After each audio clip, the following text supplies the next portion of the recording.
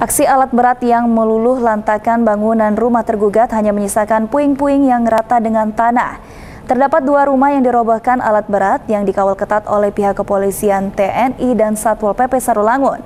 Terkait hal tersebut, pihak tergugat akan kembali mengajukan gugatan perlawanan ke pengadilan pada 22 Agustus 2022 mendatang. Puing-puing rumah yang disengketakan rata dengan tanah oleh eskavator. Terdapat dua bangunan rumah yang dihancurkan. Keluarga ahli waris Endang Kurniawan, anak almarhum Abu Taher, pemilik rumah yang kalah digugat oleh saudara serumpunya tidak hanya diam. Mereka akan kembali menggugat atas penghancuran rumah bangunan yang dimilikinya.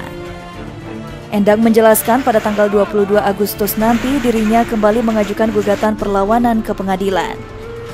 Keluarga ahli waris mengaku memiliki surat dokumen kepemilikan berupa sporadik dan surat pernyataan tidak boleh ada gugatan sejak tahun 2003 lalu. Sementara Endang mencurigai dokumen surat hibah yang dimiliki penggugat. Jelas tanggal 22 anak ahli waris akan mengaju gugatan di pengadilan Dendeng Perzet Dendeng Perzet.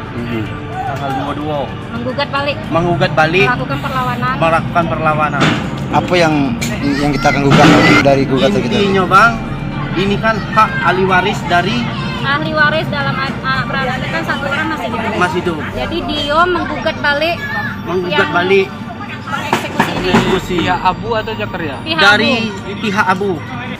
Selain itu, Endang akan menggugat kembali kerugian rumah yang dihancurkan.